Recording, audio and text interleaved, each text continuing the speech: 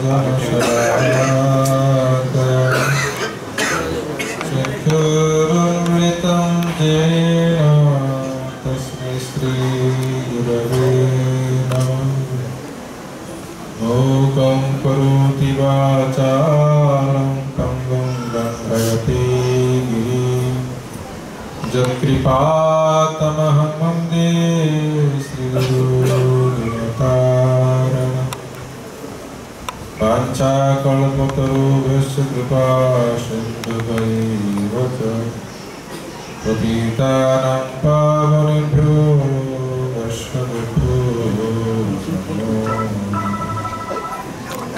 সকলকে আমি আমার যথাযোগ্য দণ্ডবোধ প্রণাম জ্ঞাপন করছি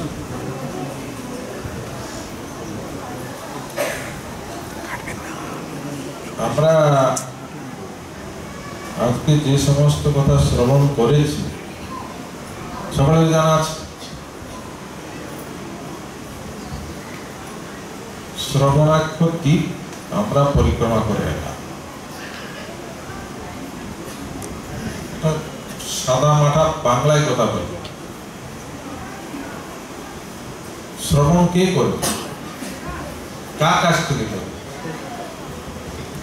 যে যাকে ভালোবাসে তার লোক কাছ থেকে শ্রবণ করবে সকালে কি শুনে নাকি আমাকে যে ভালোবাসে, তারাই আমার কথা শুনবে। অন্য লোক শুনবে? কেউ শুনবে সুতরাং সম্পর্কটা যখন যার কাছে আছে, সে শুনবে। অন্যের ছেলে আমার কথা শুনবে? বাবার কথাই শুনবে।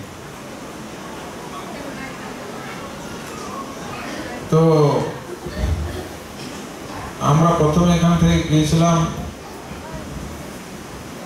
সীমন্তিনী দেবী, যেখানে গৌরপদ, রজ সিঁথিকে ধারণ করেছিলেন সেখানে পার্বতী দেবী গৌর আরাধনা করেছে তাহলে কি করে গৌর আরাধনা করেছে শিবের কাছ থেকে জানতে পেরেছিলেন শিবের সঙ্গে সম্পর্ক, স্বামী। স্বামীর কথা শুনে তিনি গৌর আরাধনা করে, গৌরকে লাভ করেছিলেন, তার পদরজ সিঁথিতে ধারণ করেছে অন্য কেউ বললে শুনতে নাই অন্য কেউ বললে কিন্তু শুনতে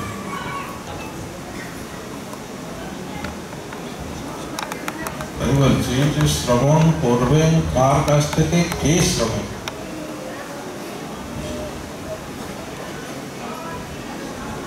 তারপরে আমরা বেলকুটিতে গেলাম। সেখানেও দেখলাম চতুর্সনদের কাছ থেকে নিম্বার্কাচার্য সেই গৌর আরাধনার কথাই বর্ণন হয়। আমরা এখন মহাপ্রভুকে মানি মানি কি? জানি মহাপ্রভু এই এই করেছেন, কিন্তু মানি না।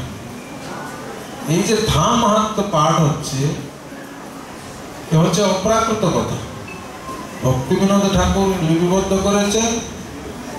না। শিবজি জানতে পারলেন যে কলিযুগে গৌরাঙ্গ মহাপ্রভু আসবে। তার জন্য তারা পাগল হয়ে আর আমরা গৌরাঙ্গ মহাপ্রভু এসে পাঁচশো কত বছর চলে গেল, আমরা কিন্তু কেউ পাগল হচ্ছে। শ্রবণ করার ইচ্ছা আছে আমাদের? তাহলে শ্রবণে আমরা মনোনিবেশ করতে পারছি না। কি করে শ্রবণ করবেন যদি শ্রবণাক্ষর দিক গিয়ে আপনি পরিক্রমা করলেন, কি পরিক্রমা করলেন? নিজেই তো জানেন না কি শুনতে হবে, কি জানতে হবে। তাই বলছেন, এই শ্রবণটা কীরকম হওয়া দরকার? কালকে আমি বলেছিলাম, আত্মনিবেদন পূর্বক শ্রবণ যে নিজেকে সারেন্ডার করে দিয়েছে, সে শুনবে, অন্য কেউ শুনবে না।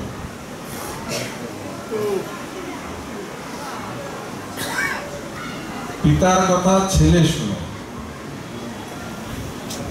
গুরুর কথা শিষ্য শুনে। এখন সেই যুগ আছে। পিতার কথা ছেলে শুনে না গুরুর কথা শিষ্য শুনে? শ্রবণটা কোথা থেকে আসবে? আর ভাগবতে আমরা যেটা শ্রবণ কথা পাচ্ছি, পরীক্ষিত মহারাজ শ্রবণ করেছিলেন সুখদেব গোস্বামী, তাকে ভাগবত কথা শ্রবণ করে পরীক্ষিত মহারাজের সঙ্গে সুখদেব গোস্বামীর তো সম্পর্ক ছিল না। ছিল কি? ছিল না তাহলে পরীক্ষিত মহারাজ একটা বিপদের মধ্যে পড়েছিলেন। না সর্পের রাজা তক্ষ তারা সাত দিনের মধ্যে মৃত্যু হবে। তাই তিনি চিন্তা করলেন যে যদি আমার সাত দিনের মধ্যে মৃত্যু হয়, তাহলে আমাকে কি করতে হবে? শশাগরা পৃথিবীর রাজা ছিলেন। একটা অঞ্চলের রাজা নয় বা একটা দেশের রাজা নয়। শশাগরা পৃথিবীর রাজা ছিলেন, ভক্ত রাজা ছিলেন। আমাদের ওই রকম যদি কোনো অভিশাপ আসে, দান পরিক্রমা করবেন? দান পরিক্রমা ছুটে যাবে কোথায়? তো সে পরীক্ষিত মহারাজ ব্যতিগ্রস্ত হন। ভক্তের লক্ষণটা কি? তিনি কোনো বিষয়ে স্থিতপ্রজ্ঞ। ব্যতিগ্রস্ত হয়ে পড়েননি। কিন্তু চিন্তা করলেন ভক্ত রাজা তো চিন্তা করলেন তাহলে আমার কি করে আমাকে এই রাজা রাজা হয়ে সমস্ত কিছু পরিচালনা করতে হবে? না, আমার জন্য কিছু ভাবতে হবে। জগৎজীবকে শিক্ষা দেওয়ার জন্য তিনি চলে গেলেন। রাজ্যভার অর্পণ করে অন্যকে সেখানে গিয়ে রাজা চলে গেছে তা মানে কি কত প্রজাও সেখানে চলে আর ভক্ত তো অন্যান্য যে সমস্ত মুনি ঋষিরা ছিল, তারাও চলে গেছে। গঙ্গা তীরে প্রায় প্রবেশনে বসেছে। নানা মুনির, নানা মত শুনলেন। কিন্তু পরীক্ষিত মহারাজ, ভগবত বিশ্বাসী ছিলেন। ভগবানের বিশ্বাস ছিল। তা নাহলে তো মনে করতেন যে আমি যদি রাজ্য পরিচালনা ছেড়ে চলে যাই, তাহলে রাজ্যের অবস্থা কি? হবে ভগবানের উপর নিজেকে ছেড়ে দিয়েছিল। তাই ভগবত প্রেরিত হয় সুখদেব গোস্বামী এসে পৌঁছেছে। শুধু সুখদেব গোস্বামী যে ভাগবত কথা জেনেছিলেন তা নয় সেখানে ব্যাসদেবও ছিলেন পরাশরও ছিলেন আরও কত ঋষিরা ছিল, তারা ভাগবত কথা জানতো না। ব্যাসদেব স্বয়ং ভাগবত রচনা করেছেন। তিনিও তো ভাগবত কথা বললে তিনি শুনতে পারতেন। কিন্তু কেউ বলেন কেননা ভগবানের মনোনিবেশ করেছিলেন। আমরা একটা কিছু ঘটনা ঘটলে আমরা লোকের কাছে ছুটি দেব। কিন্তু তিনি ছুটে যান কাউকে নিয়ে গেছিলেন যে, আমি রাজা, আমার সঙ্গে আসো, আমি কোথায় স্নান করব, কোথায় খাব থাকবে, তোমরা আসো আমার কাছে ভক্ত রাজা তাই জন্য মনি ঋষিরা সব ছুটে গেছিল কাছে গিয়ে। শিক্ষা নেওয়ার জন্য। তাই ব্যাসদেব সমস্ত কিছু জানা, বাসুদেবের সমস্ত কিছু জানা থাকলেও তিনি কিন্তু একটি কথা বলেন। যে ভগবানের কাছে নিজেকে সরেন্ডার করে দেন যার ভগবান সাহা, সেই পরীক্ষিত মহারাজকে উপদেশ দেওয়ার জন্য এলেন কেন সুখদেব ষোলো বৎসরের বালক মাতৃগর্ভ থেকে ভূমিষ্ঠ হয়ে চলে গেছে, জঙ্গলে চলে গেছে। ব্রহ্মজ্ঞানী ব্রহ্মজ্ঞানী নিমগ্ন ছিল সেই সুখদেব গোস্বামী ভাগবত কথা তার পিতা ব্যাসদেবের কাছ থেকে শ্রবণ করেছে সেই রাজাকে কি দেবেন? আর একটা রাজ্যের রাজা করে দেবেন? না কিছু সোনা দেবেন? না কিছু লোক ছিল না বলে লোক বল দিয়ে দেবেন? আমরা যেন ছুটি যাই। কিছু হলে আমার কম লোক আছে না দেখিয়ে দেবো কেমন? দেখতে পাচ্ছ কোন রকমের জাগতিক জিনিস নিয়ে তিনি কিন্তু সেখানে যান। সুখদেব গোস্বামী উলগ্ন ছিলেন। আমার মতো এরকম একটা কিছু নিয়ে যাননি কিন্তু সুখদেব গোস্বামী। গিয়েছেন, সেখানে পৌঁছেছেন। কিন্তু ভগবানের ইচ্ছা ভগবত প্রেরিত হয়ে যাচ্ছে। ব্যাসাসনটা খালি করে আছে। সকলে উঠে অভিবাদন জানান। পিতা তো জানে শুদ্ধ গোস্বামী তো ভাগবত কথা শুনেছেন। তিনিও উঠে দাঁড়িয়ে পড়েছেন। ভালো ধ্যান দিয়ে শুনতে হবে। শ্রবণের ফলটা কীরকম দেখুন।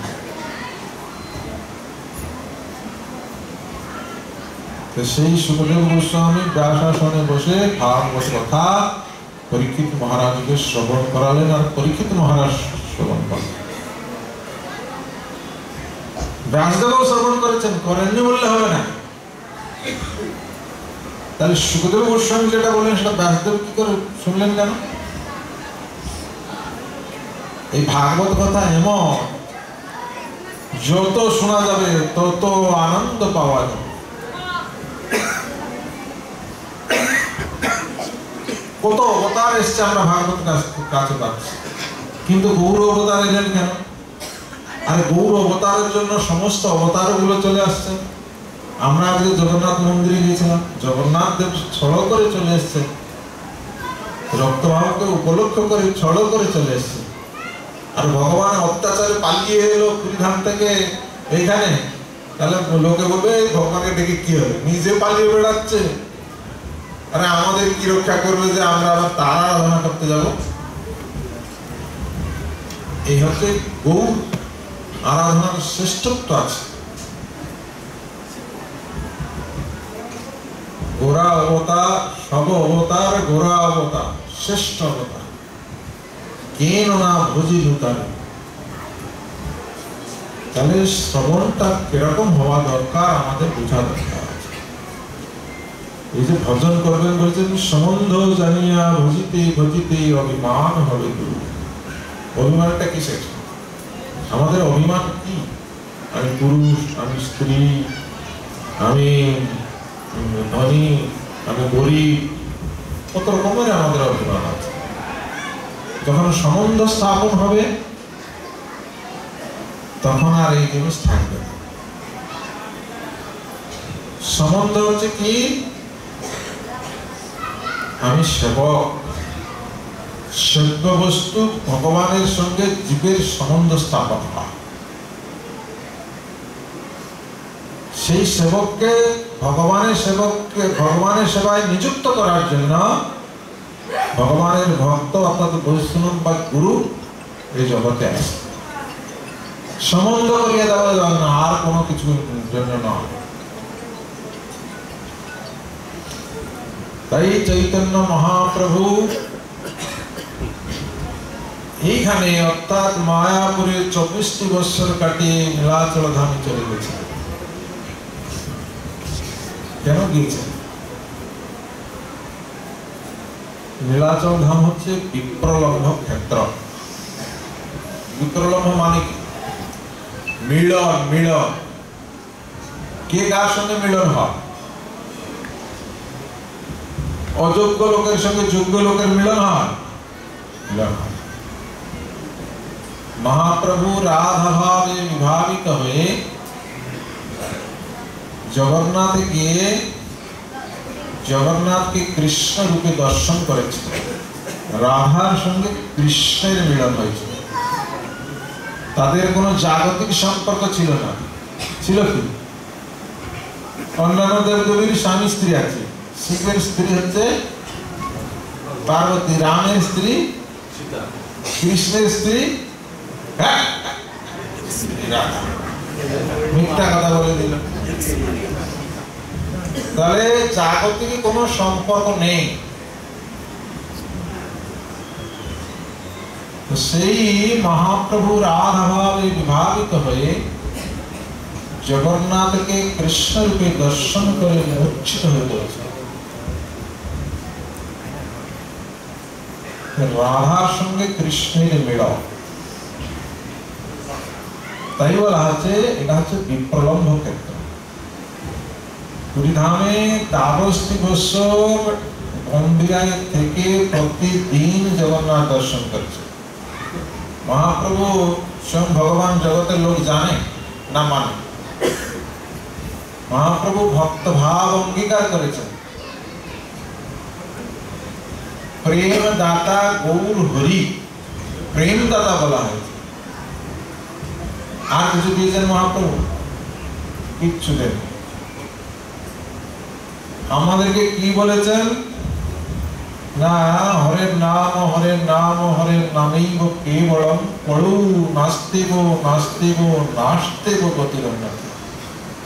কলিযুগে হরিনাম ব্যতীত অন্য কোন গতি নেই নেই নেই গতি। কেবলম। এই জিনিসটি দেওয়ার জন্য, এই নামটুকু দেওয়ার জন্য মহাপ্রভু গোলকপতি নিজে এই জগতে ভক্ত ভাব অঙ্গীকার করে আমরা লোককে হরিনাম করতে বলি, বাড়ি বাড়ি যাই, ঘুরি, হরে কৃষ্ণ করতে বলি। আমাদের ড্রেস চেঞ্জ করতে হয় নাকি? কোনো কিছু চেঞ্জ করতে হয় আমাদের রূপও চেঞ্জ করতে হয়। তাহলে স্বয়ং ভগবান ভক্তভাব অঙ্গীকার করে এই নাম দেওয়ার জন্য জগতে এসেছে। সেই নামটা আমরা করছি। সেটুকুও করছি। আমার দুর্দৈব নামে নাহি অনুরাগ এত খারাপ কাজে লিপ্ত হয়েছে যে, দিনের পর দিন, বছরকে বছর, আমার নামে রুচি হচ্ছে না। সেই খারাপ কাজটাকে দূরীভূত করার জন্য মহাপ্রভু তার পার্শ্বদগণকে এই জগতে নিয়ে স্বপার্শ্বদ শিবধাম ধাম! আমরা তো অনেক চার ধাম কথা শুনেছি। কিন্তু হচ্ছে প্রচ্ছন্ন অবতার। গৌর ধাম গৌর ধাম কথা কে জানে? কে জানে? জগতের লোক জানে না।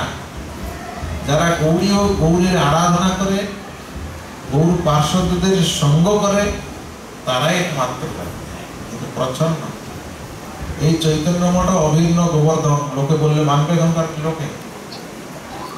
এখানে রাধাখণ্ড বললে, মানবে? এই জিনিসটাকে প্রতিষ্ঠা করার জন্য চৈতন্য মহাপ্রভু এখানে আবির্ভূত হয়েছিল এবং তার পার্শ্বদগণ তার আগে যারা এসেছিল তার পরে যারা এসেছিল, যেরকম জয়দেব গোস্বামী পাঠাম রেখেছিল মহাপ্রভুর আগে এসছে। মহাপ্রভুর সঙ্গে আবার পার্শ্বদরা এসছে মহাপ্রভুর অন্তর্ধানের পরও আবার মহাপ্রভুর পার্শ্বদরা এসেছে। তারা কি করছে না, তারা এই অপ্রকাশিত জিনিসটাকে প্রকাশ করছে।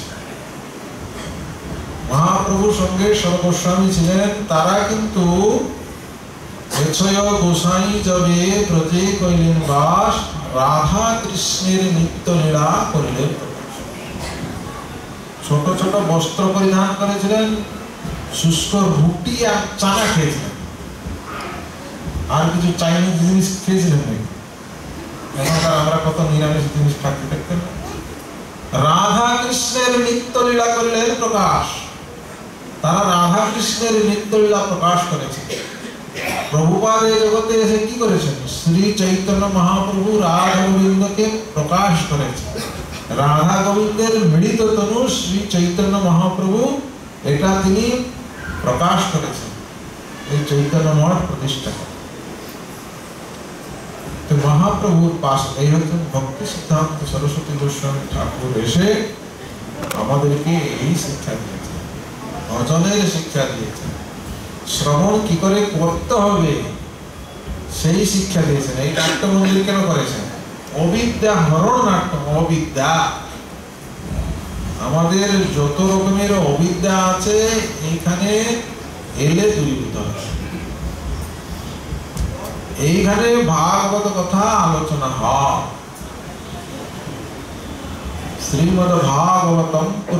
মঙ্গলম যত বৈষ্ণবান প্রিয় প্রভুপাদ তার অনুগ জনগণ তারা এসে এখানে শিক্ষা দিয়েছেন কি নিত্যম ভাগবত সেবা প্রতিদিন ভাগবত কথা শ্রবণ করতে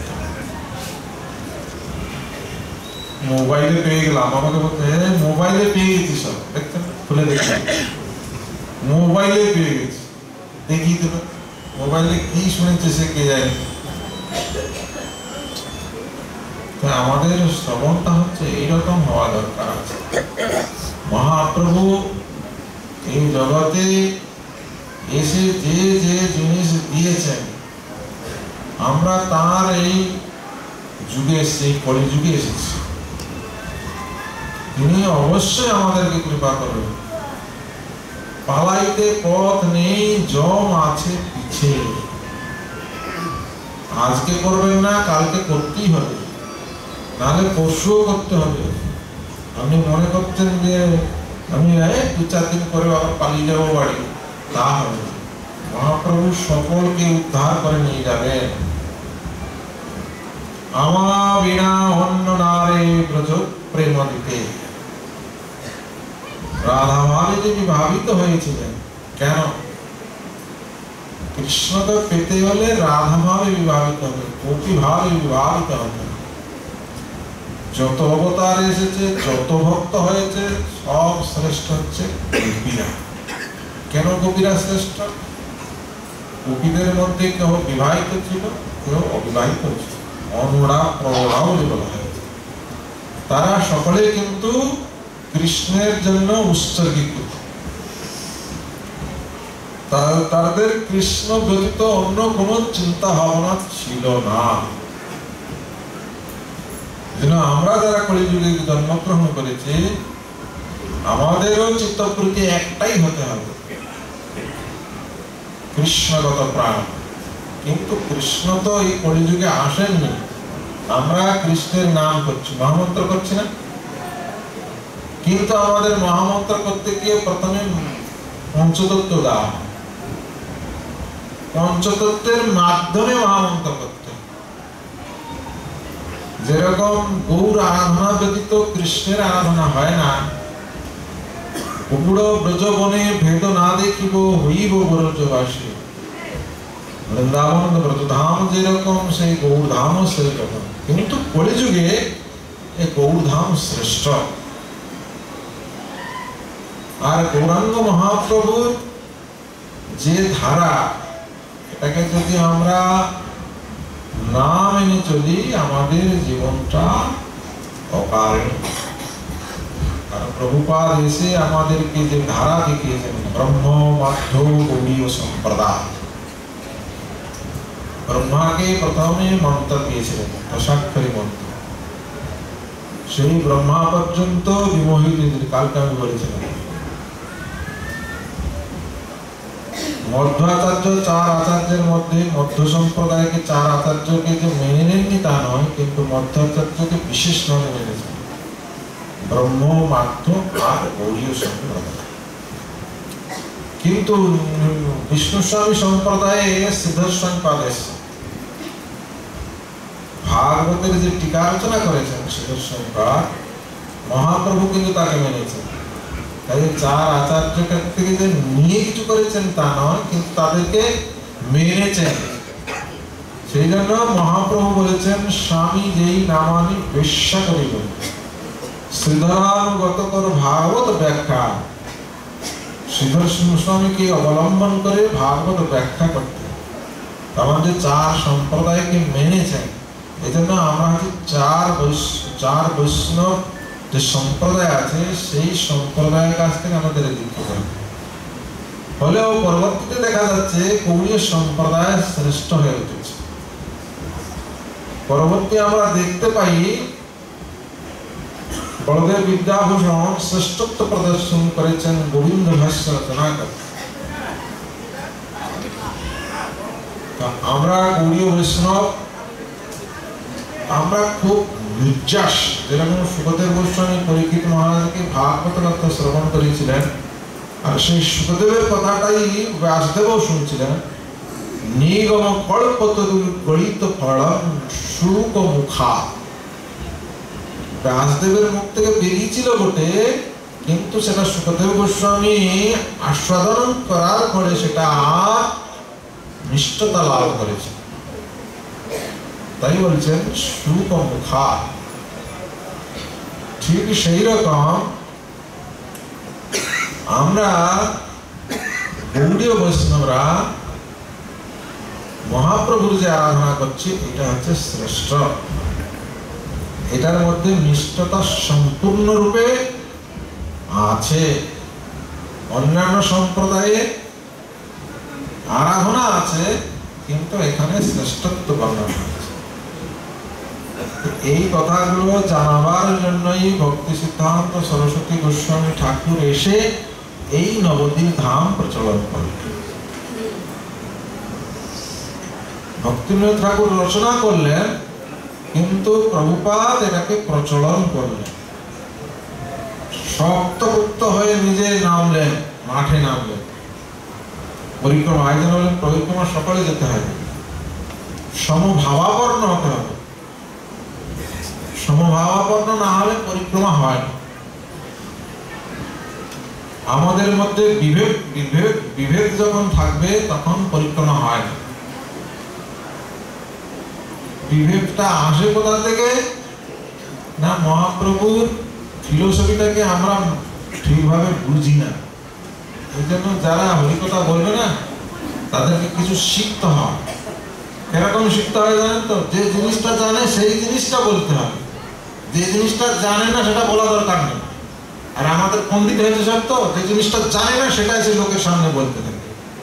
মন- প্রণাম মন্ত্রটাই জানে না, সেটাও বলতে শুরু করে। আরে আমাকে যে হাজারবার প্রণাম জানায়, আমার তো অবস্থা খারাপ হয়ে যাবে আরে যেটুকু বলা হয়েছে পাঁচ, সাত মিনিট টাইম দিয়ে তুমি হরিকথাটুকু বলো না, যেটুকু জানো সেটুকু বলো। অত প্রণাম প্রণাম করে একবার দিন কাটিয়ে একবার একাকার হয়ে যাচ্ছে যেটুকু জানি সেইটুকু বলি। আত্মসংশোধন করার জন্য আমরা এসেছি। আমরা এখানে কাউকে জ্ঞান দিতে আসি আমরা পরীক্ষা দিতে এসেছি। কি করে ভগবানকে পাবো? আমাদের উদ্দেশ্য সমভাবাপন্ন মানে কি? আমাদের উদ্দেশ্য হচ্ছে ভগবানকে লাভ করা। সমভাবাপন্ন। আমার উদ্দেশ্য নয় যে আমি শুধু একা বলব আমার জ্ঞান তোমরা শুনো, সেটা কথা নয় আমাদের উদ্দেশ্য হচ্ছে ভগবত প্রাপ্তি ভগবানকে লাভ আমিও পরিক্রমা করলে আমার যা ফল পাবো, আপনিও যে পরিক্রমা করবেন, সে একই ফল হবে। আমার ফল আলাদা, আপনার ফল আলাদা, তা হবে না। ভগবানের বিচারটা আলাদা হবে। সেই জন্য আমি যে পরিক্রমা করছি, এক একটা দ্বীপ প্রতিটা দ্বীপ ঠিক এইরকম অনুশাসন মেনে চলতে। মহাপ্রভু রূপ গোস্বামী আমরা বলেন আমরা রূপানুগ মহাপ্রভু রূপ গোস্বামীকে কৃপা দিয়ে গেছে। আর কাউকে দেননি? তার আনুগত্যে রূপানুগ হয়ে তার আনুগত্যে আমাকে ভোজন করতে বলেছে। তার মানে আমাকে কৃপা করেনি তা নয়, আমাকে যে উদ্ধার করবেন না তা নয়।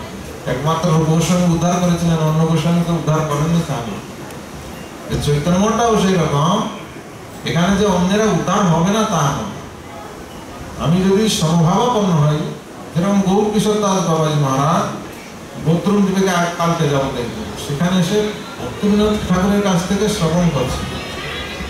তার মানে গৌর কিশোর দাস বাবাজি হ্যাঁ মহাপ্রভুকে লাভ করেননি, শুধু ভক্তিবিনোদ ঠাকুরের জ্ঞান ছিল বলে ভক্তিবিনোদ ঠাকুর মহাপ্রভুকে লাভ করেছিলেন। এটা কোনো কথা কি? সমভাবাপন্ন। উনি কীর্তন করছেন, উনি শ্রবণ করছেন। দুটো একই। কীর্তনের মাধ্যমে ভগবত প্রাপ্তি, শ্রবণের মাধ্যমে ভগবত প্রাপ্তি। আমি ঝাড়ু দিলেও ভগবান আমার সেবা গ্রহণ করবে, আমি কম্পিউটার চালালেও ভগবান আমার সেবা গ্রহণ করবে। আমি লাল করালেও আমার ভগ- ভগবান সেবা নেবে, আমি কালো করিয়া আছেন তাও আপনার সেবা গ্রহণ করবে। সমভাবাপন্ন হবে। অন্যভাবে বলবে না। বলিতে নাকি শুধু ত্যাগী হলে ভগবানের সেবা করা যাবে গৃহদের করা যাবে না? তাহলে চারটে আশ্রম আছে কেন? চারটে বর্ণ আছে কেন? চারি বর্ণ, চারি আশ্রম, যে যে কোন পরিস্থিতিতে থাক না কেন, সে যদি যেই কৃষ্ণ ভজে সেই বড় চতুর। যে কৃষ্ণ ভজন করবে, সে বড়। যেই ভজে সেই বড়। বলেছে নাকি, এই লম্বা লোকটা এই আড়তে জু- উঁচু থেকে দেখতে পেল, ওই কৃপা পাবে আর পেটে দেখতে পাইনি পাবে না? না, ফর্সা লোকটা পাবে, কালো লোকটা পাবে না।